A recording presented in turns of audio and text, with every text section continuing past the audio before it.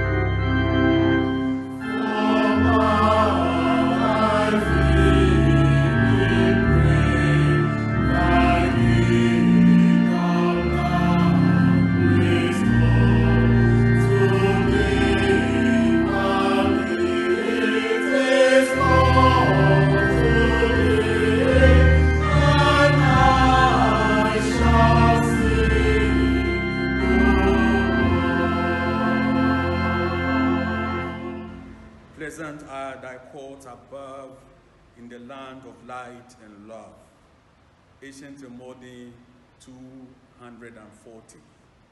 And this wonderful hymn is a request of Francis Ashon.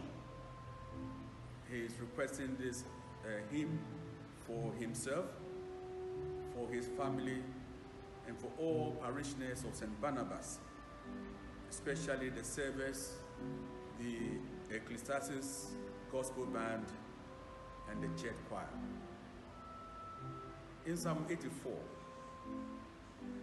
the psalmist declares, Psalm 84, verse 1 to 4, the psalmist declares, How lovely is your dwelling place, Lord Almighty.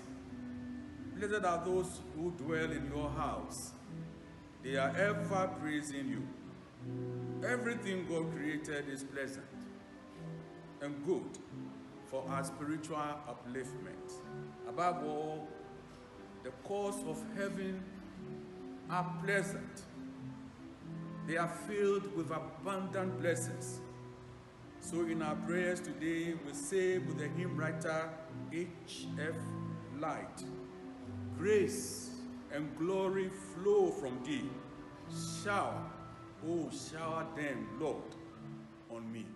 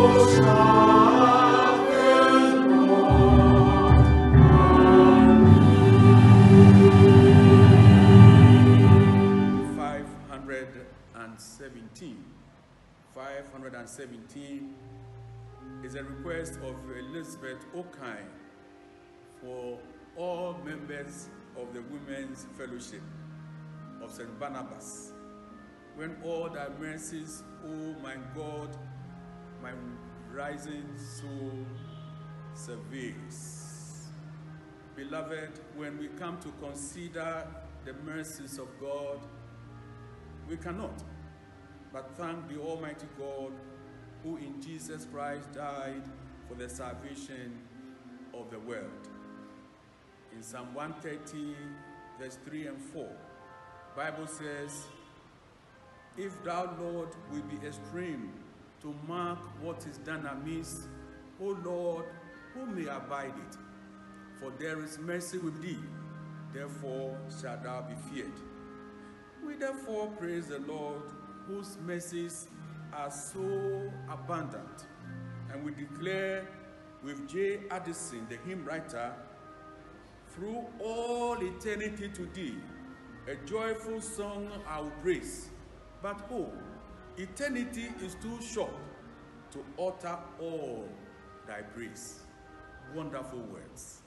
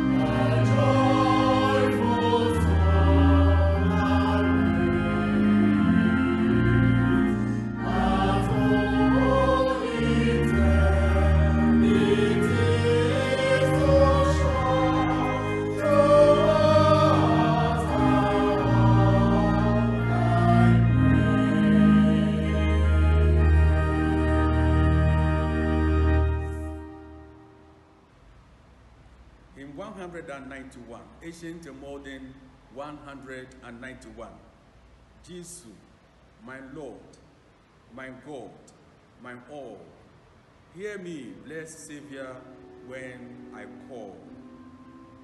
This is a request of Mrs. Higa Donko Aqua. Mrs. Higa Donko Aqua. And he, she is asking this hymn for the spiritual upliftment of the church choir and also for the sacred heart of Jesus Guild is. He's asking also for the AYPA and all lay pastors of the parish. Beloved, H. Collins, who is a hymn writer, affirms that we address all our prayers to God. So he says in the hymn 191, Jesus, my Lord, my God, my all, hear me, blessed Savior, when I call. As we celebrate the exalted Lord who has ascended into the high heavens, we also ask that our prayers may ascend to him who sits on the throne in heaven. And we proclaim our prayers today. Jesus, my Lord, I thee adore. Oh, make me love thee more and more.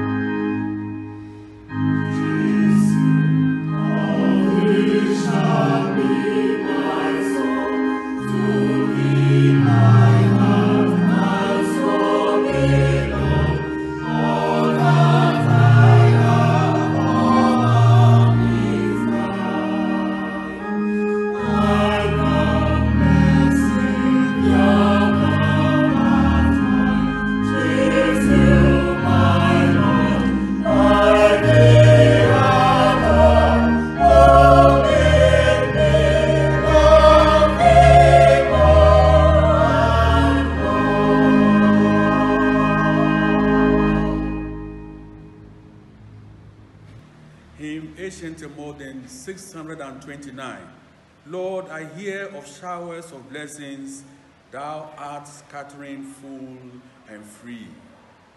This hymn is a request of Dan Tete for Venerable Dr. Joseph Lampuye Lamte and the PCC, the Parish Council of St. Barnabas. Beloved sisters and brothers, the gospel teaches us that we should go to God in humility, always. We cannot put God in our debt, claiming anything from Him with a sense of entitlement. Rather, like our Lord Jesus Christ in the Garden of Gethsemane, we say in humility, My Father, if it is possible, may this cup be taken away from me. Yet not as I will, but as you will. So the will of God predominates. Prayer links us to the infinite resources of God. But in humility, we say with the hymn writer, Lord, I hear of showers of blessings. Thou art scattering full and free. Showers the thirsty land refreshing. But let some drops descend on me, even me.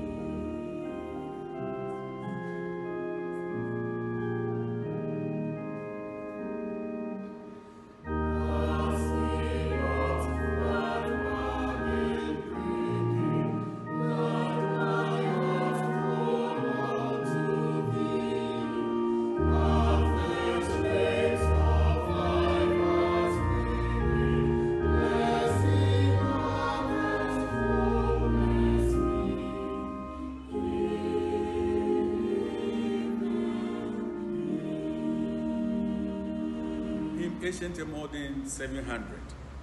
Give light, O Lord, that we may learn the way that leads to thee. This hymn is a request of Ni Lante Lamti for himself, for his numerous friends, and for all bereaved families in these difficult times of COVID 19. Beloved, the world has so much attractive things to offer, many of which lead to destruction. But there is only one way that leads to eternal peace.